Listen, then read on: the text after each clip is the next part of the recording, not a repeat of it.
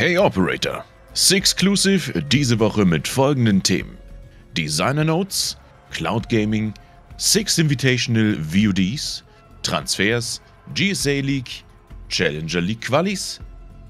Und wie immer gilt, gefällt euch das Format, dann lasst ein Abo da, aktiviert die Glocke und fleißig liken und kommentieren. Und damit herzlich willkommen zum aktuellen Six Exclusive News Format. Im heutigen Meinungssegment werden wir uns über die Designer Notes hier Six Season 2 unterhalten und euch ein wenig näher bringen, was es damit auf sich hat. Unsere erste News ist heute die Möglichkeit, Cross-Plattform zwischen PC, Cloud Gaming wie Plattformen Google Stadia oder Nvidia Now zu nutzen.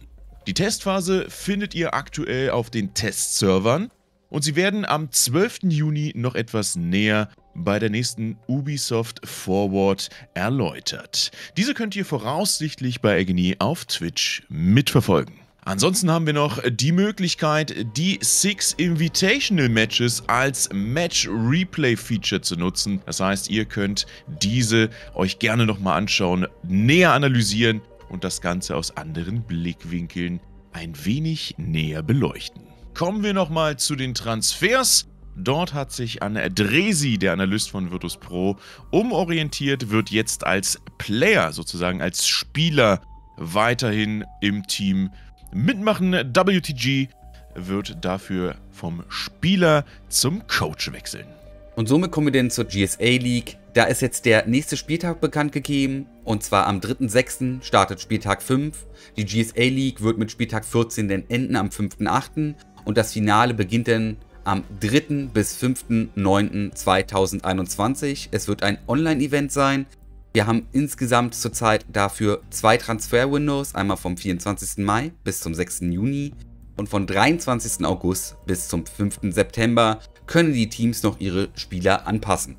Das aktuelle Standing der GSA League ist wie folgt. G2 auf dem ersten Platz, CC State Punk auf dem zweiten Platz, GoSkiller auf dem dritten Platz, Penta auf dem vierten Platz, Team Secret auf dem fünften Platz, dicht gefolgt von Rogue, hier nochmal als Erläuterung, Rogue ist nicht fünfter Platz, weil sie haben verloren gegen Secret.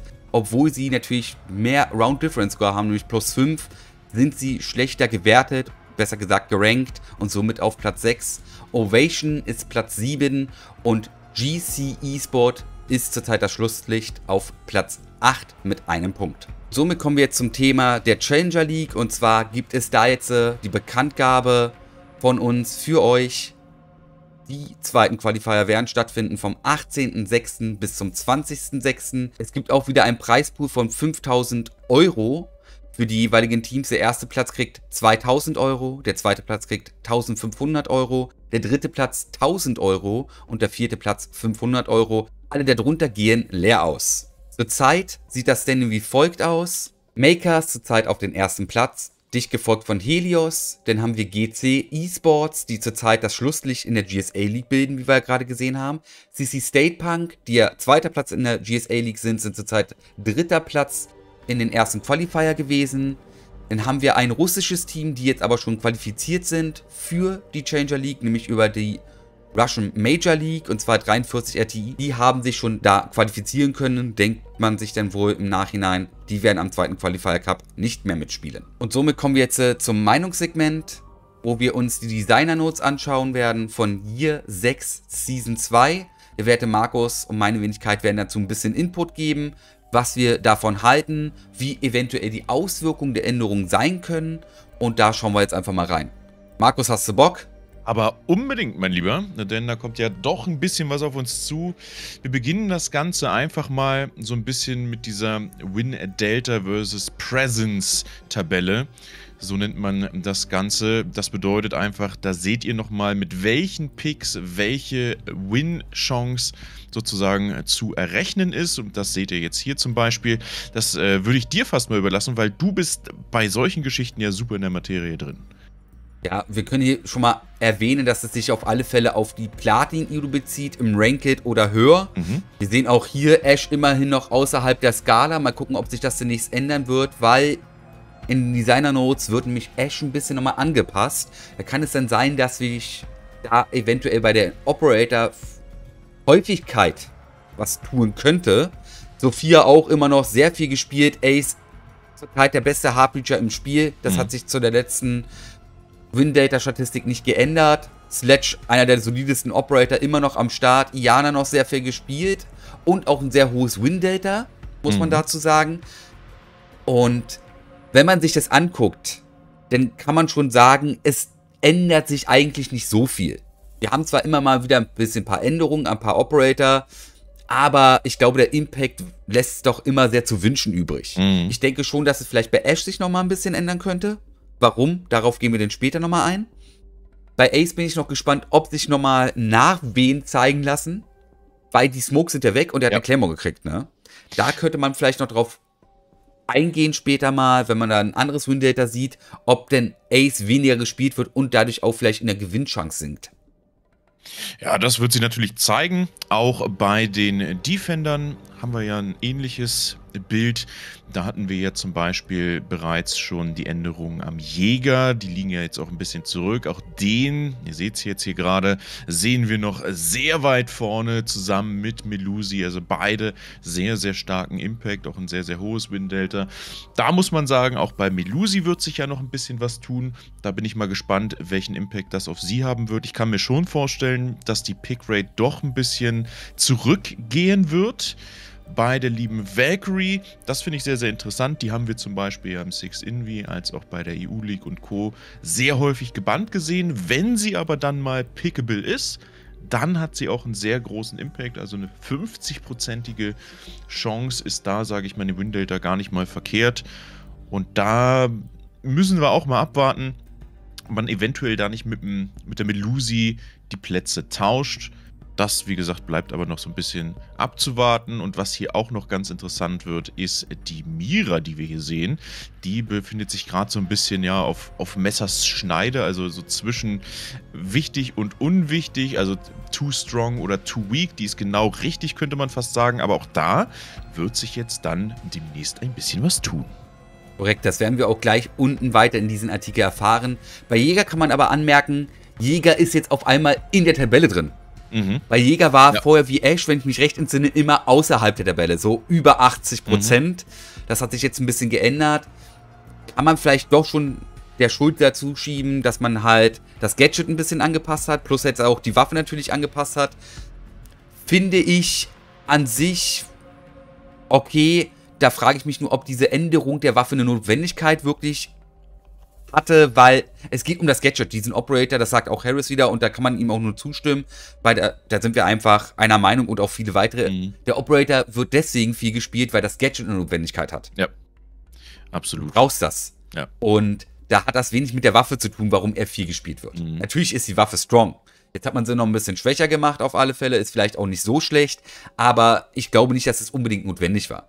Aber gehen wir mal weiter. Genau. Da werden wir auch gleich nochmal einen kleinen lustigen Aspekt auch sehen.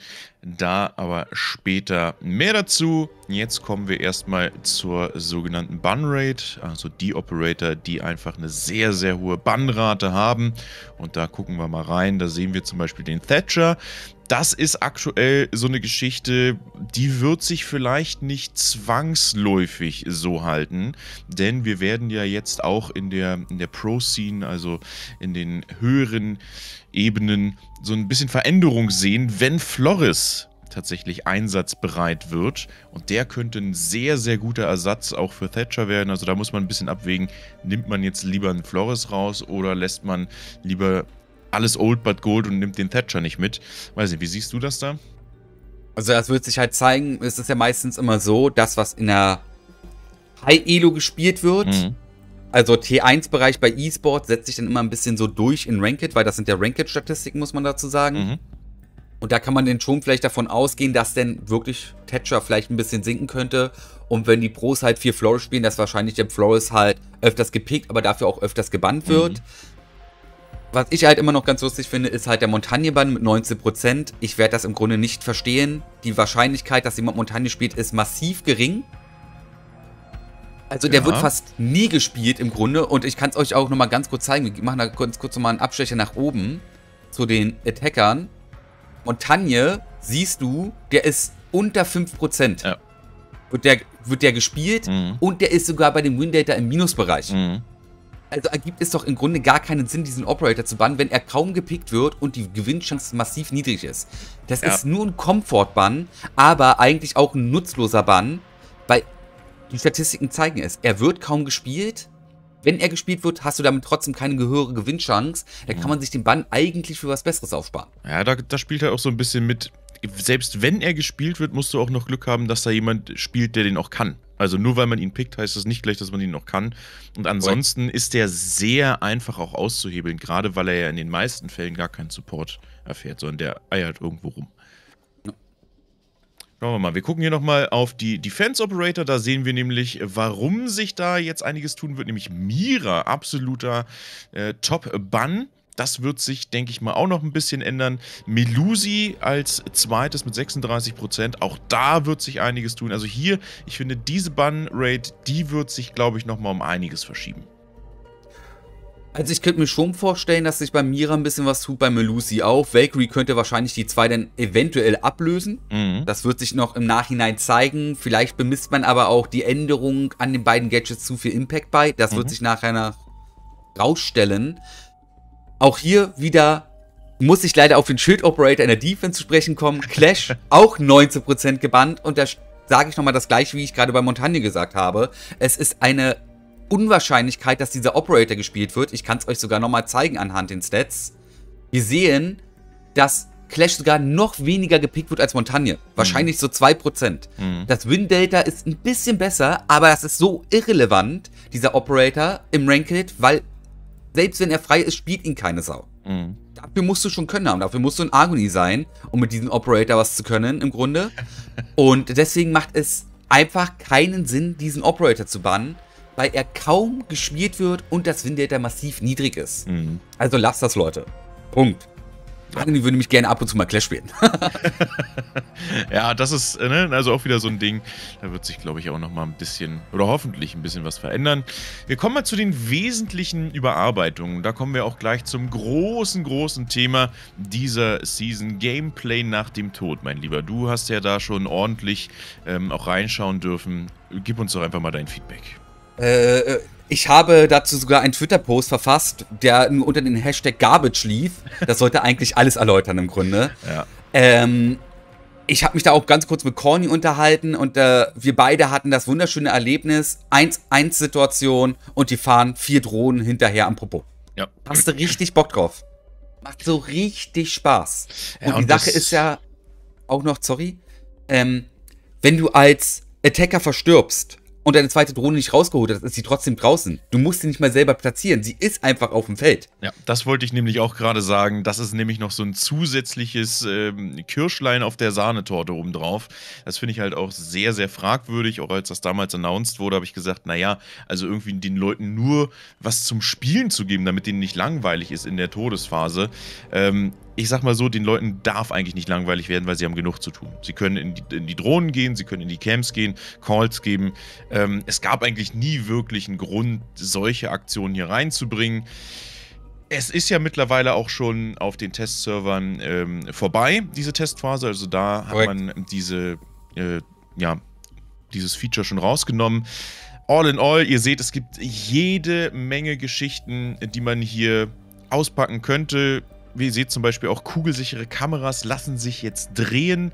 Also das sind alles so Sachen, wo ich mir denke, warum dann überhaupt diese, diese kugelsichere Cam irgendwie ins Spiel bringen, wenn sie dann sowieso nutzbar ist wie der andere Cam auch, drehbar und dann irgendwie nach dem Tod noch nutzbar. Also, ah, ich glaube, da du lässt hast ja unterschlagen, dass die jetzt EMP-Salven verschießen kann. Damit kannst du ja, ja. kurzzeitig Drohnen deaktivieren. Ja. Ja, das also das an sich ist ganz nett, aber wenn ich tot bin als Operator, dann habe ich eigentlich nur die Cam und das war's. Eben. Aber mit diesem System konnte ich halt immer noch die Ability der Kamera nutzen. Mhm. Wie gesagt, das finde ich alles sehr, sehr fragwürdig. Wenn ich das mit Counter-Strike vergleiche, da bist du, da bist du weg vom Fenster und das war's. Ja, da hast du gar nichts zu tun. Ende. Korrekt. Hier in Rainbow hast du was zu tun. Wenn dir das nicht ausreicht, dann solltest du vielleicht mal zum Therapeuten gehen. Könnte sein, dass du ADHS hast. ja, das ist, also wirklich, das ist mir wirklich auch zu, zu viel, too much und bringt vor allem auch diese ganze Balance ähm, außer, außer Rand und Band. Wie gesagt, hier gibt es nochmal weitere äh, zu berücksichtigende Aspekte zum Gameplay. Die brauchen wir auch nicht unbedingt nochmal ähm, näher drauf eingehen. Es gibt die Möglichkeit, äh, die Logic Bombs dann eventuell noch zu zünden. Die Yokai-Drohne lässt sich da noch fahren. Ihr habt Maestros Auge, das ihr drehen und nutzen könnt. Also da sind so viele Sachen. Stellt euch einfach vor, ihr seid dieser Last Man, der noch überleben kann, wollt irgendwie planten und dann fliegt da eine Echo-Drohne und dann habt ihr da irgendwie noch die Möglichkeit, mit dem Maestro einzuschießen und es ist zum Brechen. Wirklich. Sorry, aber ja. das ist es einfach. Ist auf alle Fälle keine schöne Änderung. Hier wird noch mal kurz erwähnt, dass die jetzt äh, das Death Replay ein bisschen angepasst haben. Sieht ganz solide aus. Ist jetzt aber auch nichts groß Nennenswertes, wo wir eigentlich drauf weiter eingehen müssen. Mhm. Ihr seht es ja gerade, ihr könnt euch durchlesen. Wir verlinken euch sogar unten natürlich wie immer in den Kommentaren, denn die jeweiligen Quellen, da könnt ihr es euch gerne nochmal genauer anschauen. Es sind viele Änderungen auf dem Testserver. Das aber, wie gesagt, mit dem Gameplay After the Death ist schon wieder weg. Wird auch nicht bei North Star Season kommen. Somit also nicht so schlimm im Grunde. Mhm. Ich denke mal, es wird fast gar nicht kommen, weil der, der Feedback dahingegen ist wohl sehr, sehr negativ, was ich bisher mitgekriegt habe. Und deswegen braucht man sich meines Erachtens ja erstmal für die nächste Season keine Sorgen machen. Also da können wir ganz kurz äh, euch die Angst nehmen. Also diese Season können wir noch ganz entspannt weitermachen. Kommen wir aber zu den Sachen, die tatsächlich ins Spiel implementiert werden. Und die werden ganz interessant. Ihr seht hier zum Beispiel Symbole für eliminierte Operator. Das bedeutet im Großen und Ganzen, die Leichen werden nach einer gewissen Zeit verschwinden. Die lösen sich dann quasi auf und werden mit einem Icon ersetzt. Das heißt, ihr werdet weiter sehen, wo jemand gestorben ist. Ihr geht also jetzt nicht durchs Gebäude und sagt, öh, hier liegt ja gar keiner, hier ist keiner gestorben Ihr seht das schon, ne, wenn da drei Icons sind, Vorsicht, da könnte gerade einiges abgehen gibt aber die Möglichkeit, und das ist der Gedanke dahinter, dass bei jedem die Leiche irgendwo anders liegt. Das wird damit ausgehebelt, das heißt, man hat einfach mehr Übersicht über das Spiel und gibt einen wesentlich besseren Spielfluss für die Attacker und für die Verteidiger. Korrekt, bloß, und man muss dazu noch erwähnen, hier steht es ja auch gerade, versperrt halt nicht die Sicht. Das hast du auch vielleicht schon mal gehabt. Leute mhm. haben es vielleicht in den Leichen versteckt. Ja. Dann ist es auch so, durch die ganzen Skins kannst du manche Operator nicht mehr unterscheiden. Jetzt hast du das ja. Operator-Symbol und weißt halt einfach, welcher Operator da jetzt liegen geblieben ist auf der Strecke. Mhm. Das ist auch ganz sinnvoll. Jetzt kommen wir zu den Einschusslöchern. Das ist was, was ich sehr befürworte. Also ich finde die Änderungen, die diese Season Northstar beinhalten, sehr, sehr fabulös, muss mhm. man dazu sagen. Ja. Und zwar wird es so sein, dass ihr Jetzt, wenn ihr in die Wand reinschießt zurzeit, bei der aktuellen Season, könnt ihr ja durch das Bullet Hole durchschauen. Das wird da jetzt unterbunden. Da hast du dann halt einfach eine Grafik davor und da musst du halt mehrmals reinballern, bis halt eben so ein großes Loch ist, als ob du in die Wand reingepanscht hast. Mhm. Das ist auch ein bisschen für mehr Fairness, weil du sitzt da halt hinter deiner Wand, hast da dein kleines Guckloch. Für dich ist es aber so, als ob du da ein gigantisches Loch hast und da durchgucken kannst. Und der andere Spieler sieht halt eigentlich gar nichts fast. Und das ist ein massiv unfairer Vorteil den man damit jetzt eben denied hat.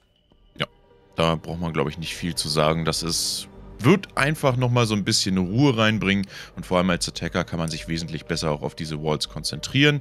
Ansonsten sehen wir jetzt hier noch TP und Rüstung, also die Trefferpunkte plus Rüstung. Das wird jetzt sozusagen ersetzt. Man hat also einfach generell diese Lebensanzeige. Wer sich das so ein bisschen abstrakt vorstellen möchte, das ist so ein bisschen wie bei den Rollenspielen, dann hat eben ein Operator 125 ähm, Lebenspunkte, weil er eine große Rüstung hat. Mit mittlerer hat er 110, mit einer leichten hat er 100 und dann kann man natürlich natürlich da auch nochmal mit Schutzplatten 20 äh, draufpacken, beziehungsweise natürlich auch mit so einem Stim, den man von einem äh, Dock bekommt, ähm, diese TP nochmal erhöhen. Das heißt, ihr habt eine wesentlich bessere Übersicht. Was habe ich denn eigentlich aktuell auf dem Tacho? Unten habt ihr sonst immer die Anzeige, die hat sonst immer dasselbe angezeigt, ohne mit einzurechnen, was eure Rüstung eigentlich noch an zusätzlichem Mehrwert ähm, dazu beisteuert.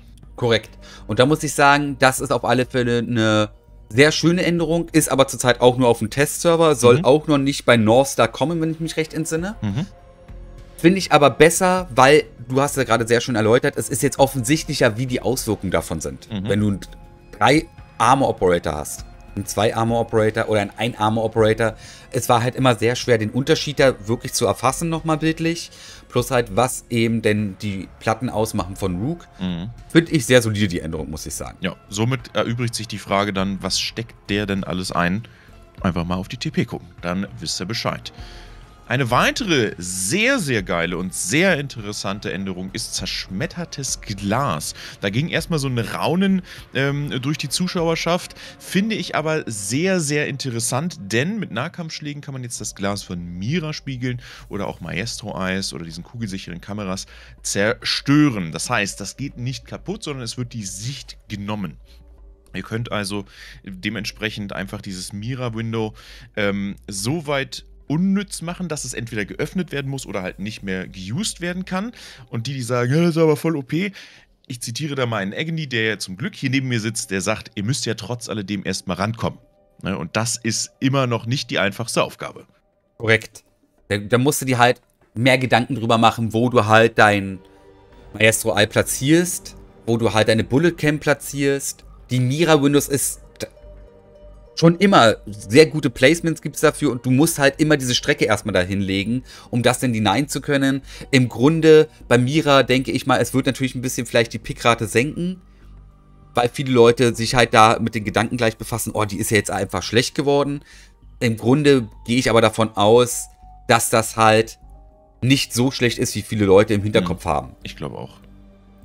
Also da werden wir, glaube ich, äh, doch eher was Positives draus ziehen. Ihr werdet es, glaube ich, dann auch relativ schnell mitbekommen, ähm, dass ihr solche Geschichten dann trotzdem nutzen könnt. Wie gesagt, das Mira-Fenster ist noch da. Ihr müsst es aufmachen, um durchzuschießen. Ihr könnt auch Maestro noch nutzen. Ihr seht nur nichts mehr. Ihr müsst es aufklappen.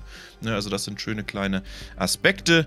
Und wir kommen zur Rauchausbreitung, meine Lieben. Egini, was erwartet uns da denn?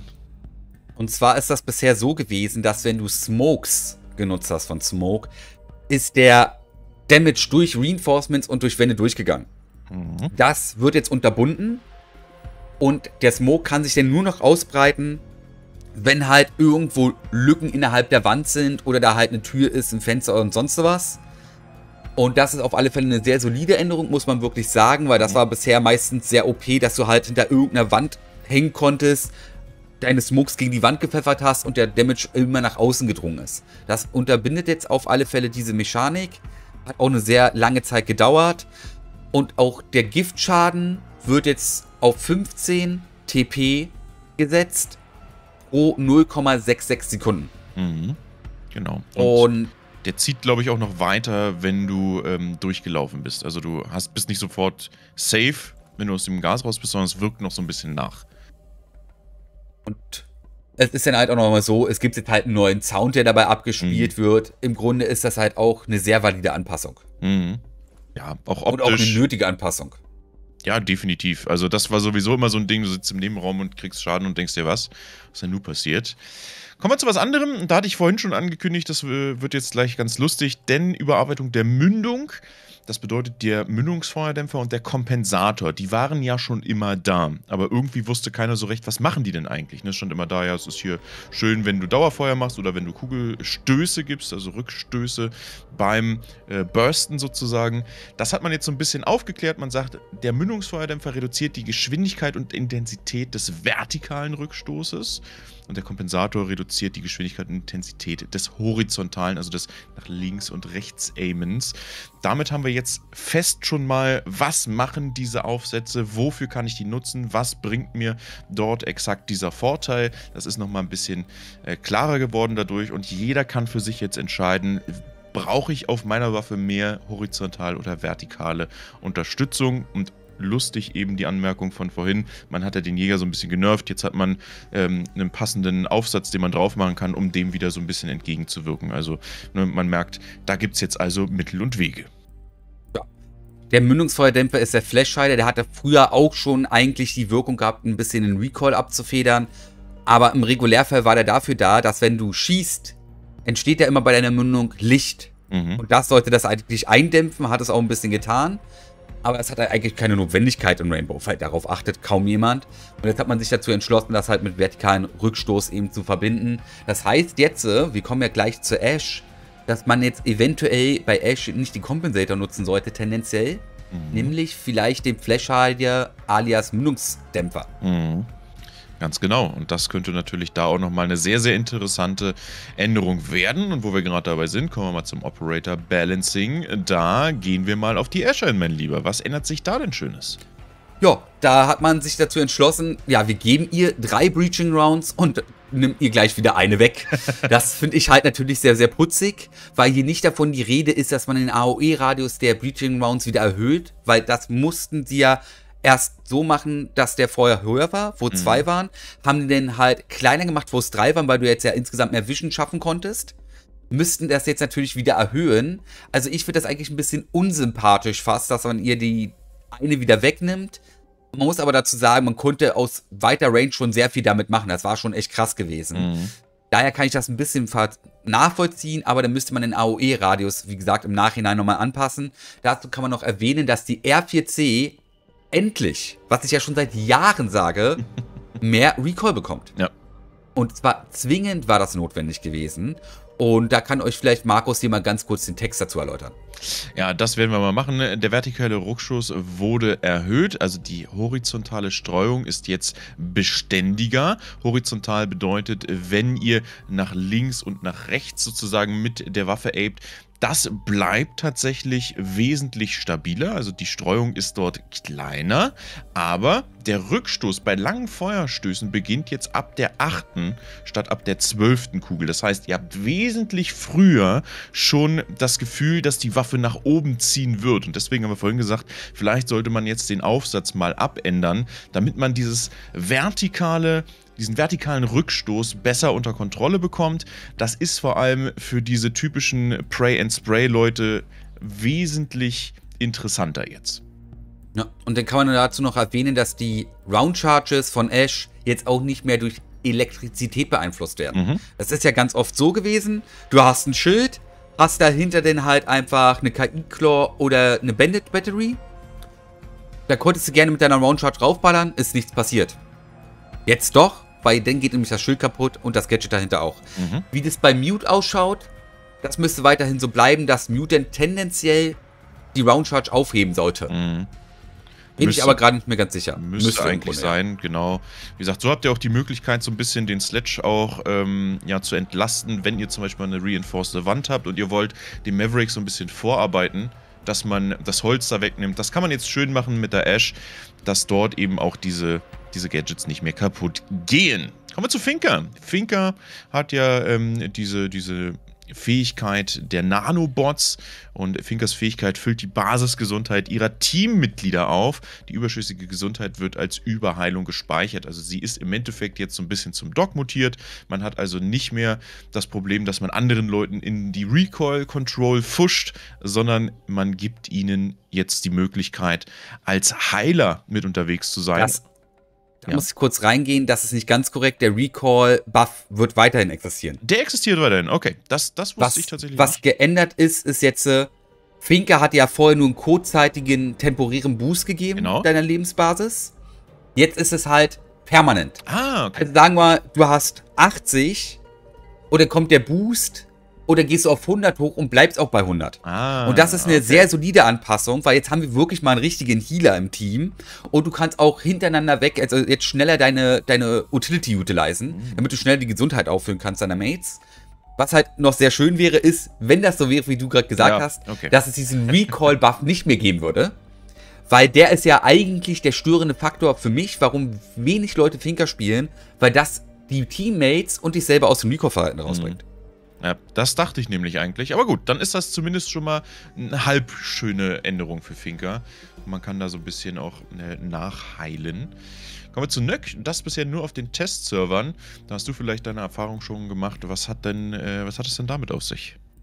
Und zwar ist es bei Nöck jetzt so, die kann nicht mehr Silent steppen. Das wird jedenfalls, wie gesagt, erstmal nur getestet. Mhm. Das war ja an sich immer ganz schön gewesen. Finde ich ein bisschen schade, dass das weg ist.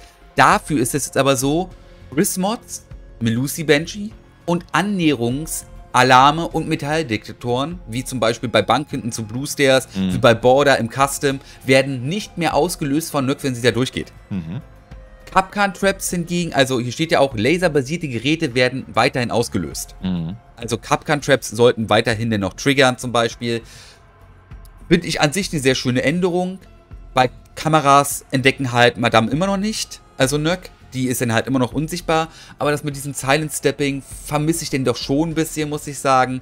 Würde ich schon ganz geil finden. Weil sie war ja vorher eine Combo aus Vigil zusammen mit Caveira. Mhm. Jetzt ist sie eigentlich meistens nur noch Vigil. Ne? Ja. Und daher würde ich das halt ganz toll finden, das eigentlich wieder mit reinzukriegen. Aber ich denke mal, für das Balancing her ist es eigentlich schon ganz gut, wenn man das mit rausnimmt. Weil du hast jetzt so viele Gadgets, die dann halt nicht durch deine Anwesenheit getriggert werden. Das ist schon ein enormer Vorteil. Mhm. Ja, absolut.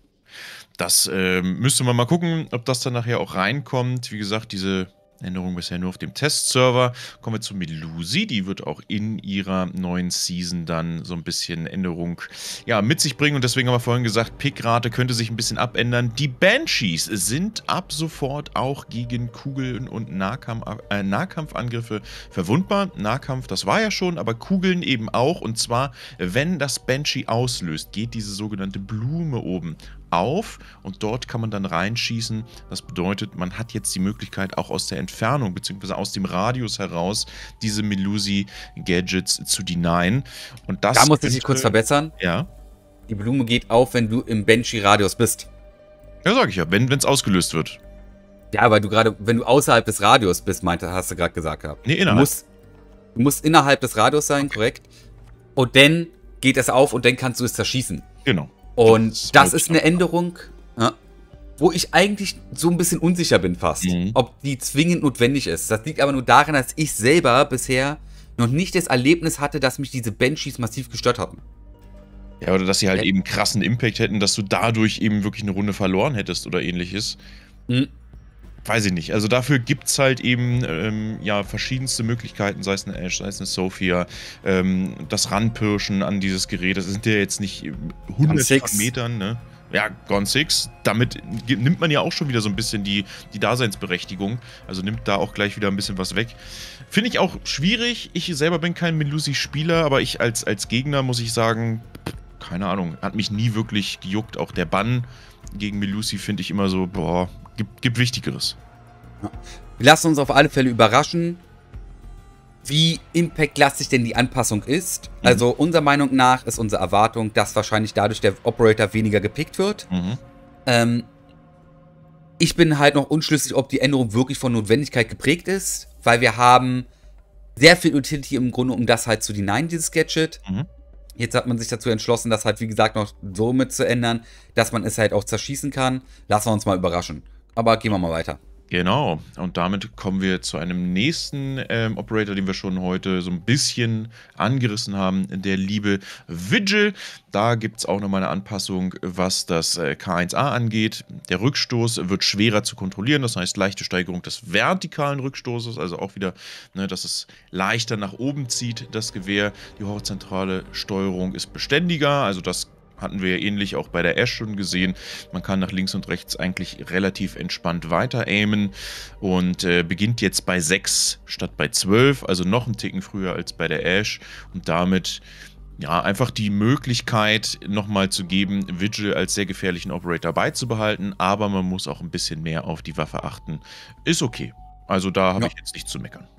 Also die Waffe war auch relativ leicht händelbar. Mhm. Das heißt auch hier, Leute, einfach Flashhider auf die Waffe rauf und dann könnt ihr das ein bisschen besser kompensieren mit diesem Rückschluss, der jetzt dazugekommen ist. Mhm.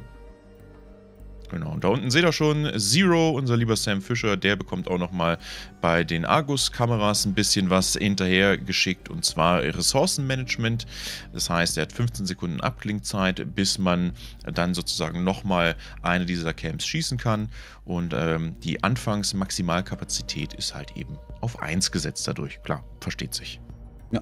Ist halt vergleichbar mit Twitch, das haben sie auch in den Artikel geschrieben gehabt. Bei Twitch ist ja auch so, du schießt und dann lädt sich das halt wieder auf und kannst dann wieder loslegen damit. Ist auf alle Fälle eine interessante Anpassung. Ich denke auch mal, dass das sehr valide ist bisher. 15 Sekunden ist eine ganze Menge Zeit, muss man dazu sagen. Und meistens ist die Kamera auch sehr schnell futsch, wenn du irgendwo aggressiv reinplatzierst, um da halt irgendwie gadgetmäßig was zu hinein. Finde ich solide. Mhm. Man muss, wie gesagt, bisher sagen, Northstar könnte an sich wirklich eine sehr solide Season werden, wenn nicht halt irgendwelche Bugs natürlich mit reinkommen. Ja, das, das ist natürlich immer so ein bisschen die Gefahr, aber bisher sieht es wirklich sehr, sehr gut aus, was man sich da gedacht hat. Also man könnte fast davon reden, dass man sich mal wirklich Gedanken und vor allem auch das Feedback sich mal zu Herzen genommen hat. Da kommen wir jetzt auch nochmal zur Bering. Das ist ja die Waffe von Thunderbird, als auch eben von Echo und Hibana.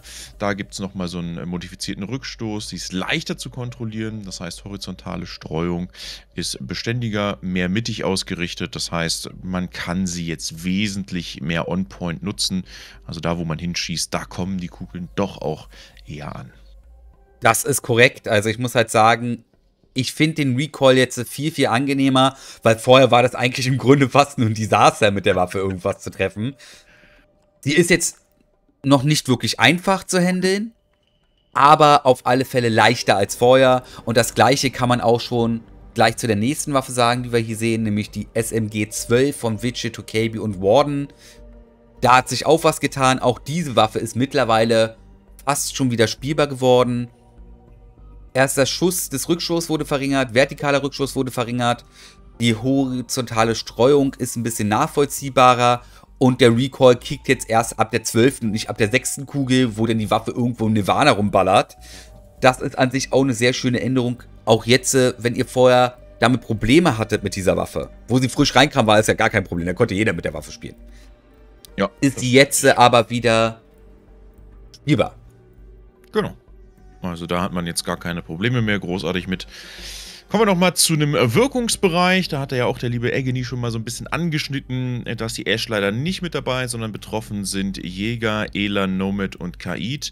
Also die Elektro-Claws, der Lufthieb, also die Airjabs, die Grismod und das äh, AVS werden dort mit so ein bisschen, ähm, ja, ich sag mal, angepasst. Das heißt, der, das, der, der Area wird ähm, ja, die, die Reichweite wird einfach ein bisschen angepasst. Und, ja, es äh, wird besser visualisiert jetzt, ja, wie die Reichweite der Geräte ist. Genau. Sagen wir es mal so, so ist es wahrscheinlich verständlicher. Es wird sich großartig am, am Radius nicht was ändern, aber ihr könnt wesentlich besser jetzt einschätzen, passt das oder passt das nicht. Gerade bei den Elektro-Claws war das ja zum Beispiel so, dass man ja immer sieht, okay, das wird der Radius sein, aber zählt beispielsweise der Rahmen noch mit rein? Geht das jetzt noch so ein bisschen über das ähm, abdeckende, ähm, über diesen abdeckenden Bereich mit rein? Das sind halt so Sachen, die werden jetzt visuell auch nochmal so ein bisschen besser dargestellt. Genau. Und damit sind wir auch durch mit den Designer Notes von Year 6 Season 2. Markus, das war mir wie immer eine Freude. Danke, dass du mitgemacht hast. Sehr gern, sehr gern.